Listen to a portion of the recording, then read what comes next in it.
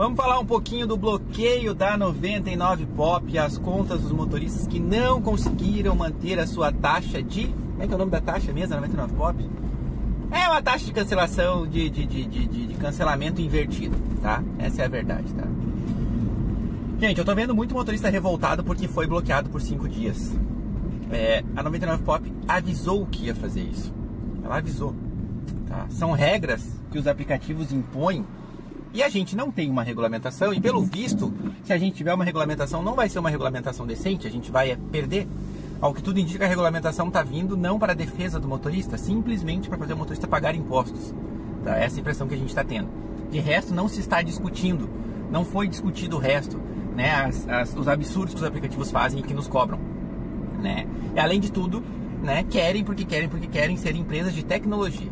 Não tem nada a ver com empresas de transporte. Hoje transporto praticamente o Brasil todo porque quebraram as empresas, as empresas de transporte público em grande parte do país. Tô mentindo? Não tô, né? Porque o valor hoje é praticamente o mesmo, o mesmo dos ônibus, né? Quando não ainda menos, tá? Para carregar, carregar mais de uma pessoa. E a gente não tem nem possibilidade de escolha, mas são empresas de tecnologia, é o que se diz. E eles fazem as regras como eles querem, já que não existe uma regulamentação. Simplesmente isso. E se existir regulamentação, pelo jeito não vão mexer nessas coisas, eles vão seguir fazendo as regras, ou seja, a gente está ferrado. E a nós só cabe se adequar. Então, para quem está revoltado, para quem está bravo, não tem outro jeito, entendeu? Tu vai ter que se adequar. Sinto te dizer isso, também me revolta esse tipo de coisa, mas é a verdade, tá? Não é muito diferente do aplicativo da Uber. O aplicativo da Uber ele diz que é para te tentar não passar de 30% de taxa de cancelamento, senão tu corre o risco de perder tua conta. A 99 Pop, ainda pelo menos, né, antes de, de, de, te bloquear, 99 é mais difícil bloquear do que a Uber, ela vai lá e te dá uns ganchos, te dá uns ganchos, até que um dia ela vai te bloquear definitivamente.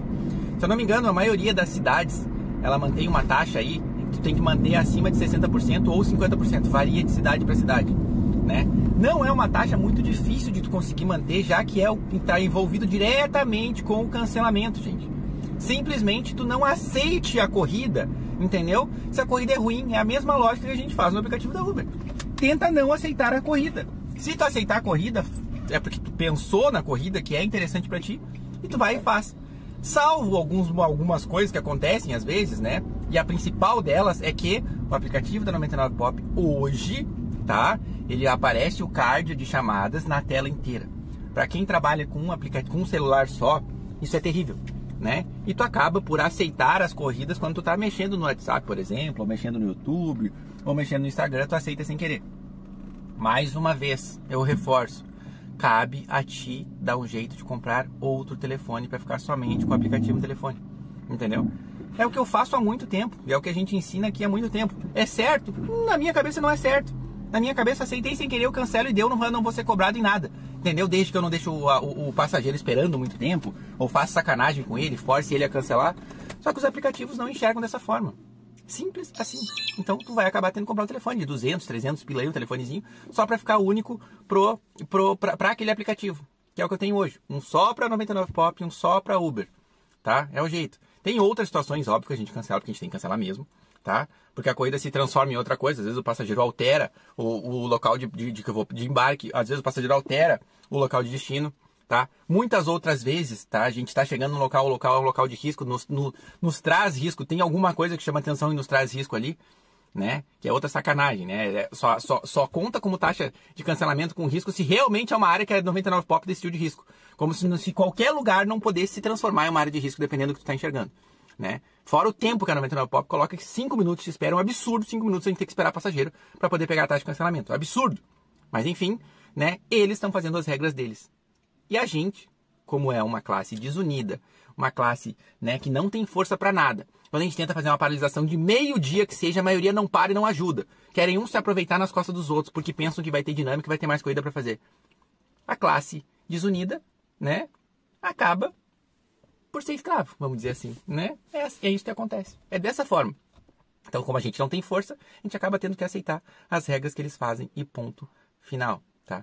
Um absurdo, Roberto, dizer que eu tenho que comprar outro telefone para resolver. Sim, porque eu não vou conseguir resolver para ti e ninguém vai conseguir resolver essa parte, entendeu? Do cancelamento. Tu vai ter que cuidar. Tem outra coisa que a gente sabe que acontece, até eu não tenho isso aqui. Se eu não me engano, é um multiplicador que tu tem que manter, da 99 Pop tem algumas regiões do país que tu tem que manter a taxa de aceitação acima de 80%, alguma coisa desse tipo. Eu não me recordo desse tipo de, de, de, de, de corrida com multiplicador aqui para mim, não me recordo. Eu lembro que no passado tinha umas seguidinhas, tá? Que tu não podia recusar nenhuma corrida. Então o que, que o pessoal faz? Imagino eu que faz, ou fazem ainda, ou, ou só faziam, né? Em vez de tu pegar e não, e não aceitar uma corrida para te continuar com esse, com esse benefício, independente do benefício que seja, tu ia lá e aceitava e cancelava a corrida. Né? E eu sei que muita gente já fez isso. Eu, inclusive, já fiz. Me lembro quando isso chegou há muitos anos atrás. acho que era antes da pandemia ainda. Entendeu? Eu cheguei a fazer dessa forma também, todo mundo fazia, porque não tinha regra. A 99 Pop possivelmente notou que os motoristas estavam fazendo isso.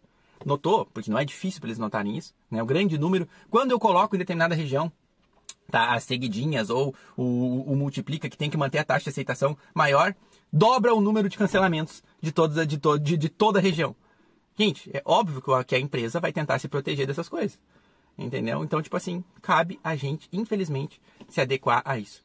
Tô dizendo para te fazer corrida ruim? Não. Tô dizendo para te avaliar bem a corrida antes de aceitar para não precisar cancelar. Avalia bem. Eu na 99 Pop, por exemplo, né? É um aplicativo. Eu quando eu tô em Porto Alegre, hoje em dia, que eu trabalho mais final de semana mesmo, né? Que eu pego mais pesado, final de semana, o que, que eu faço com a 99 Pop? A 99 Pop eu jamais trabalho em Porto Alegre, por exemplo, se não for somente no cartão. Jamais. Jamais. Porque eu sei que as corridas no dinheiro me jogam todas, praticamente todas, para local ruim. Entendeu? E o que eu não vou conseguir sair de lá, o que eu vou ter que sair vazio. Então eu boto só no cartão. Toca muito menos, toca muito menos. Mas é mais um critério de eu poder avaliar. Vamos supor que eu aceitei uma corrida. Bah, essa corrida aqui não é tão boa, tô indo fazer. Tocou uma melhor da Uber. É óbvio que eu vou cancelar. Mas eu tenho a minha taxa, tá em 83%, eu olhei de manhã. Esqueci o nome da porcaria da taxa 99 Pop ali. Minha taxa tá em 83%, tá? Então, tipo, tá uma taxa boa, que é o sinal que eu realmente não cancelo, entendeu? Mas a quantidade de corrida que eu tinha feito ali foram 35 corridas que eu realizei e 7 que eu recusei no período de 30 dias. Então, para vocês entenderem como realmente eu trabalho muito menos na 99 Pop do que na Uber. Mesmo assim, ainda tem finais de semana que eu faço mais dinheiro da 99 Pop do que na Uber. Entendeu? É tudo uma variação, é tudo tentar se adequar da melhor forma possível, tá? Para quem trabalha com mais de um aplicativo, que é o correto, é o que a gente tem que tentar, Uber, 99 Pop, InDrive e outros aplicativos regionais tem por aí, entendeu? Às vezes que se exploda a taxa. Vou ficar cinco dias sem essa bosta aqui, beleza. No outro mês pode ser 10 e continuar, 10 dias já começa a pesar. Depois disso, 15 dias no mês também começa a pesar. Entendeu? Só que para quem trabalha única exclusivamente, tem, tem muitos por aqui, tá? Que trabalham exclusivamente com a 99 Pop, vão ter que se adequar para não ficar alguns dias parados. Não tem jeito, entendeu? Ou em situação que não tem essas, essas promoçõezinhas aí, essas vantagens que a gente possa ter, né? Tu ajeita bem bem tuas taxas para tu poder fazer essa manhãzinha de aceitar e cancelar para não perder dinheiro, entendeu? Só que sempre não vai dar certo, né? Tua taxa de vai, vai ficar abaixo dos 50 ou 60% que eles cobram em grande parte do país. Infelizmente, a gente não tem o que fazer e ninguém vai conseguir resolver isso, né? Nem a regulamentação, nem nada. Pelo jeito, a gente vai ficar nas mãos dos aplicativos ainda por muitos e muitos tempo eles, muito tempo eles fazendo o que eles querem, né? Não sei se vocês têm alguma outra ideia sobre isso. Mas eu, o que eu vejo é isso. Vamos ter que se adequar e não tem jeito. Tá bom? Triste, revoltante. O aplicativo diz que, que a gente que a gente não é que não pode ter vínculo empregatício, mas fazem as regras como se assim existe como se assim fosse, né? Como se tivesse vínculo empregatício. E ninguém faz nada, ninguém resolve nada. Poder público, justiça, governo, todos imundos. E não estão nem aí para nós. Essa é a verdade. Um abraço. Se inscreva no canal, ative a bosta do sino. E... Deixa a tua opinião sobre o assunto.